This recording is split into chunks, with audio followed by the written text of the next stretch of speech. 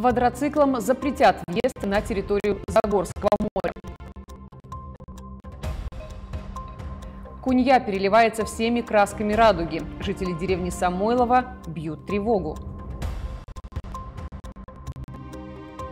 Александр Баруков из Сергиева Посада занял первое место в конкурсе чтецов.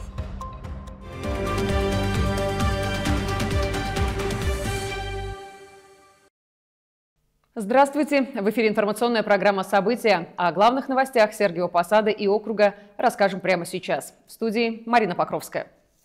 Благоустройство лесопарковой зоны «Загорское море» близится к завершению. Многие жители уже успели оценить, как преобразились пляжи и лесная территория. Сегодня вместе с коллегами парковую зону осмотрел и глава округа Дмитрий Акулов. Рассказывает Светлана Володина. Очень скоро в Сергиевом Посаде откроется новая зона отдыха лесопарк «Загорское море». Подрядчики завершают последние штрихи благоустройства, управление городских парков готовит яркий праздник. Момент а, работы по созданию лесопарка заканчиваются, и 6 июля мы планируем его к открытию. А хочется сказать, что подрядчики усиленно работают, а работы уже почти что завершены. Ну, я считаю, что они большие молодцы, потому что работа проделана огромная. Глава Сергиево-Посадского округа Дмитрий Акулов с коллегами проверил, что еще предстоит сделать перед торжественным открытием. Уже готовы аккуратные лесные дорожки, заканчивается благоустройство большой парковки. Также на завершающем этапе установка уличного освещения и системы видеонаблюдения. Дизайнерами готовится к оформлению входная группа. Ну, к сожалению, погода носит свои корректировки, не получается идти с опряжением графика, но, конечно, большой объем работы выполнен после Э, последнего ну, выездного такого совещания у нас э, готовность по дорожно-тропиночной сети увеличилась на там, процентов 15 и в общей сложности составляет процентов 90. В оформлении благоустройства прогулочной зоны используются легкие экологичные материалы. Получившееся пространство для прогулок впечатляет. Оно гармонично сочетается с окружающей природой, подчеркивая красоту этого места. Сегодня с коллегами прогулялись по Загорскому морю, смотрим, как продолжается работа, точнее говоря, даже завершаются потому что планируем на 6 июля уже провести некое открытие пляжей, соответственно, аттракционов, развлечений, мест, так сказать, нового притяжения жителей и гостей нашего округа. К сожалению, не все жители округа в должной мере оценивают работу по облагораживанию лесной территории. По привычке ездят на квадроциклах по лесу, оставляя следы колес на мягкой газонной траве. Любители пляжного отдыха бросают мусор прямо посреди деревьев. Все это нарушает атмосферу места и наносит ощутимый вред природной среде.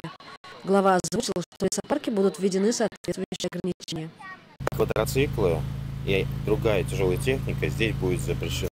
Мы проработаем это силовым блоком, соответственно, с коллегами максимально обеспечим пешеходную, прогулочную, безопасную э, территорию для того, чтобы все-таки здесь можно было спокойно прогуляться. Хотелось бы обратиться к жителям, гостям, что если вы приходите со своим пакетом, мусором, уносите с собой, пожалуйста. Мы уберем, нам не сложно.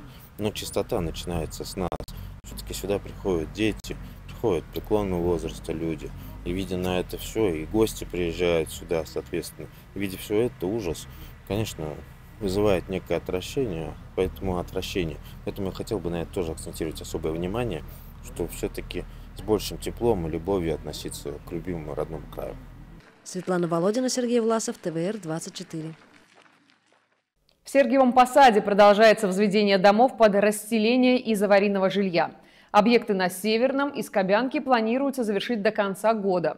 Глава округа с профильными заместителями проинспектировали ход строительства.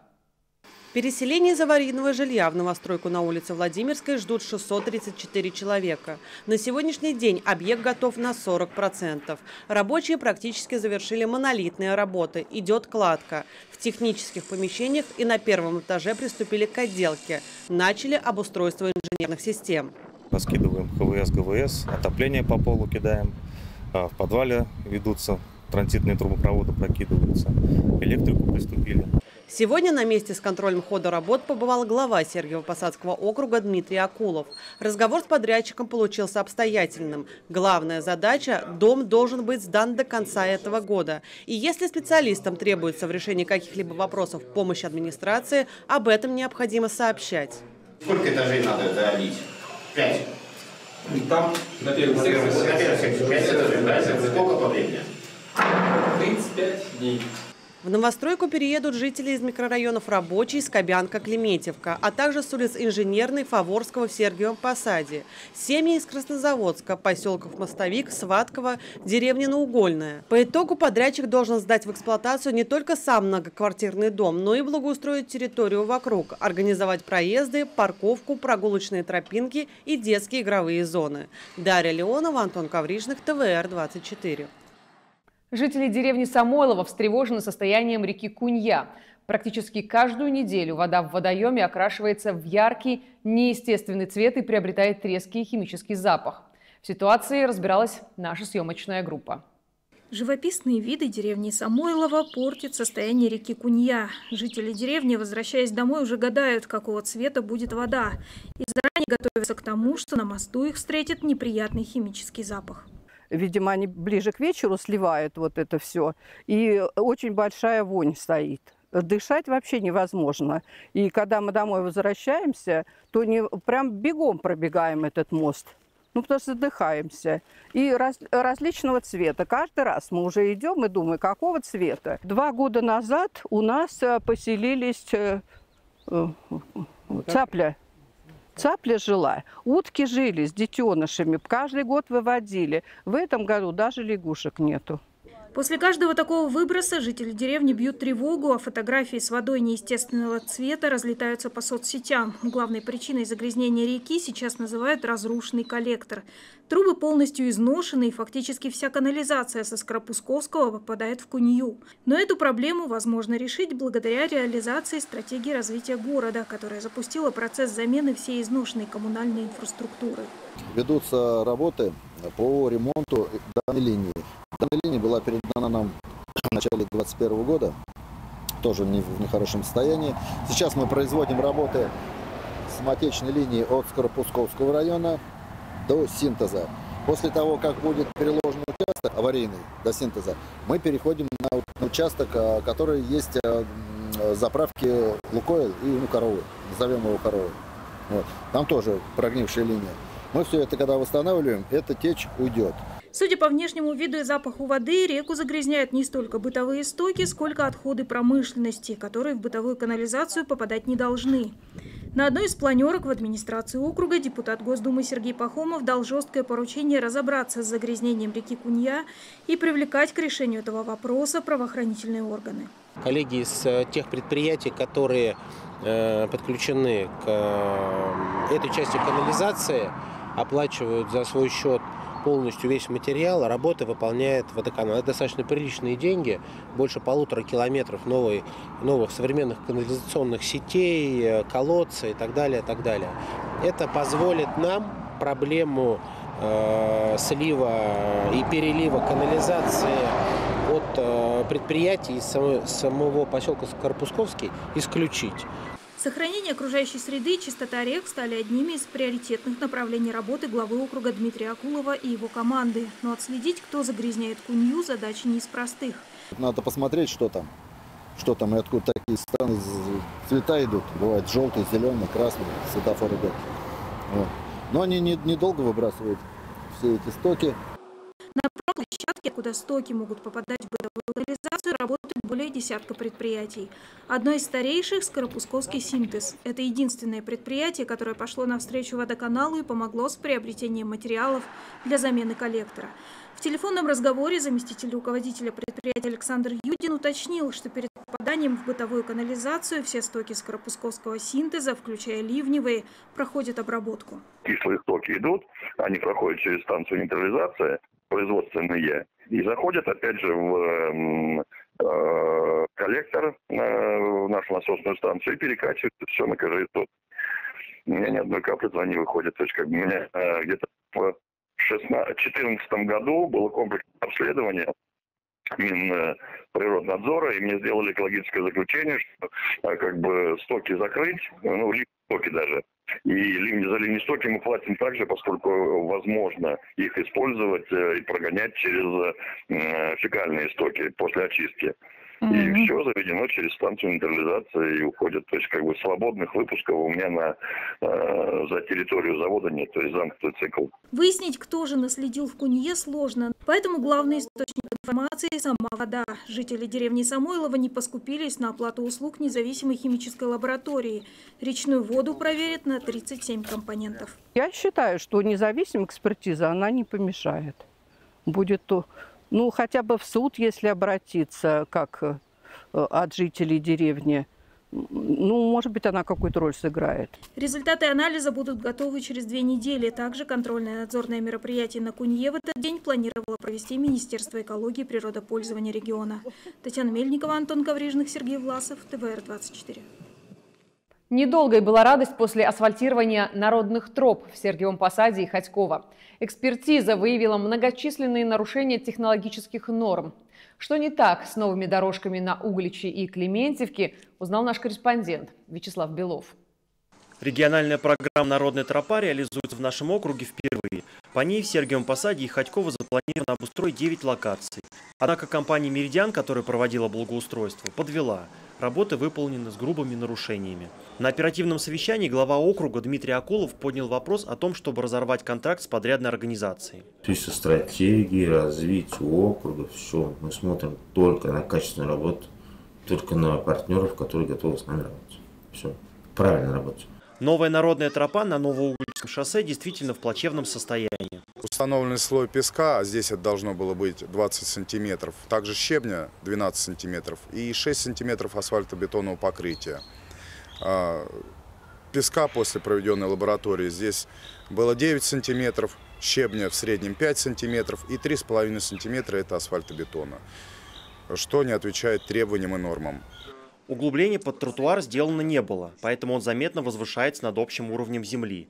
В конце дорожки у дома после дождя образовался небольшой водоем, который уже несколько дней подтапливает подвал. Обнаружены и другие ошибки. Бордюрный камень должен быть прочно зафиксирован в бетонном лотке, а по обе стороны от тротуара насыпан слой грунта. Но вместо него слой мусора, в том числе строительного. Мы связались э, с руководителем подрядной организации, предложили ему выйти на место и исправить э, недостатки. Но ну, исправить недостатки здесь только можно, если это все демонтировать, заново разработать грунт, уложить песок, щебень и асфальт. По прошествии двух недель э, было обнаружено то, что подрядчик все-таки выходил на место, но лишь усугубил ситуацию. Оставил неубранный бортовой камень, демонтировал остатки его и как раз э, оголил свои, собственно, недочеты. Тротуар проектируется таким образом, чтобы он был пригоден не только для ходьбы, но и для механизированной очистки зимой. Но в МБУ благоустройства СП понимает, что с такими нарушениями техпроцесса он и до зимы не доживет. Переместившись с Углича на Клементьевку, перед нами предстал другой шедевр. Отличия есть, но только в худшую сторону. Прямо у входа в детский сад подрядчик оставил необработанными острые углы бордюров, а рядом скат, который уже растрескался, не дождавшись приемки. Прошли чуть дальше, увидели бортики, выдавленные наружу при асфальтировании. Такое ощущение, что горе-рабочие собрали все беды, которые только можно. Было принято решение расторгнуть контракт в одностороннем порядке. Новому подрядчику предстоит переделать работу предшественника, чтобы сделать народные тропы уже качественно и на совесть. Вячеслав Белов, Анна Овчинникова, ТВР-24. В Троице Сергиевой Лавре состоялось награждение лучших чтецов международного марафона «Чтобы помнили дети» конкурсе участвовало более тысячи детей со всех уголков России. Главный приз за самое проникновенное прочтение стихотворения достался участнику из Сергиева Посада, рассказывает Мария Ревека. Лучших чтецов международного марафона «Чтобы помнили дети» наградили Свято-Троицкой Сергиевой Лавре в Большом зале Московской духовной академии. Проект реализуется уже три года Фондом поддержки и развития детской литературы «Надежда» при содействии Фонда президентских грантов. Проект у нас начался с того, что мы издали книгу. Она называется «Чтобы помнили». Это международный сборник произведений для детей о Великой Отечественной войне. И в него вошли авторы из семи стран мира. И все они пишут для детей, это стихи и проза. Далее мы передали эту книгу в библиотеке регионов, которые принимают участие в проекте. И затем уже дети смогли познакомиться с этой книгой, выбрать лучшие произведения, которые им понравились, легли на душу, заснять видео и прислать нам на электронный адрес В этом году в марафоне чтецов участвовало порядка тысячи детей от 12 до 17 лет из разных уголков России. Оренбургской, Мурманской, Московских областей, из Крыма, Татарстана, Карелии. Активно присылали свои работы ребята из Луганской Народной Республики. Многие родители наших ребят также сейчас на передовой, и вот, вот эта тыловая поддержка детей своих родителей как раз, наверное, и побудила э, вот к такому массовому участию в данном проекте. Победителей жюри выбирало из ребят, которые стали лучшими по итогам региональных этапов. Третье место разделили участники из Татарстана и Оренбургской области. Эвелина Гемадеева и Антон Зобиков. Второе место у Матвея Ковалева из Петрозаводска. Он уже не первый раз участвует в подобных соревнованиях. Для марафона выбрал стихотворение Эльмиры Шерифулиной «День Победы». Мне оно понравилось тем, что у меня получилось его очень хорошо рассказать. Э, то есть я рассказывала души, и у меня это хорошо получалось. Цена той тишины огромная, оплачена людскими жизнями, страданиями, болью, кровью их, всех призванных на бой отчизны. Первое место у Александра Бурукова из Сергиева Посада. Он выбрал текст Ильдара Ахадова «Война кончилась». Почему выбрал? Ну, потому что показался, что я его смогу честно рассказать, без каких-либо дополнительных интонаций или еще чего-то. Но вы знаете, нам повезло. Потому что все то, что произошло там, нам не довелось испытать на себе. Потому что видеть на экране и читать в книжке – это же совсем другое. Ты ведь знаешь, что как бы ты ни переживал описываемое или показываемое, всего этого сейчас уже нет. Торжественная церемония награждения завершилась праздничным концертом. Мария Ревека, Михаил Кирсанов, ТВР-24. Сразу две выставки открылись в библиотеке Розанова. Свои работы представили московские художники, работающие в разных техниках. Романтичная живопись Людмилы Севериной, работы Ларисы Акулининой в стиле пуантилизм, портреты и гобелены Андрея Мадекина. Диалог с творчеством – это совместный проект художниц Людмилы Севериной и Ларисы Акулининой. Они пишут в разных техниках. Людмила – приверженец масляной живописи, ее любимый жанр – пейзаж. Лариса творит в технике пуантилизм. Это техника письма мелкими точечными мазками, почти чистыми красками. Второй год, а, благодаря усилиям молодого такого организатора Константина Ершова. Э, мы сотрудничаем с Московским союзом художников. И пусть наше пространство не столь обширное, мы не галерея, конечно, а всего лишь библиотека, но тем не менее мы даем возможность открыть для себя новые имена. Еще одна выставка в библиотеке имени Розанова – живописи гобелены Андрея Мадекина.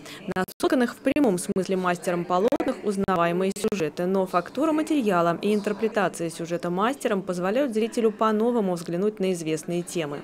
Мне нужно некоторое сюжетное философское наполнение. И поэтому я обращаюсь к мифологической библейской тематике, потому что здесь э, у меня есть возможность э, э, обращаться к каким-то достаточно известным темам, как, например, этот гобелен «Купание красного коня». Это, естественно, отсылка к известной картине Петрова-Водкина. Как сейчас модно говорить, амаш – Амаш – это ну, как бы дань уважения вот, и некая ну, какая-то перекличка э, с мастером. Что касается живописи, то здесь как раз я не ищу какого-то а, стиля такого собственного, какой-то трансформации. Наоборот, мне здесь интересен сам человек. Андрей Мадыкин немало размышляет об искусстве и некоторые исследования и мысли заключил в книге, которые обещал подарить библиотеке. Так что у читателей будет возможность познакомиться и с литературным творчеством художника. Ну а выставки работ московских художников Людмилы Севериной, Ларисы Акулининой и Андрея Мадыкина продлятся до 20 июля. Оксана Мирошникова, Анна Овчинникова, ТВР-24. На сегодня это все новости. В студии была Марина Покровская.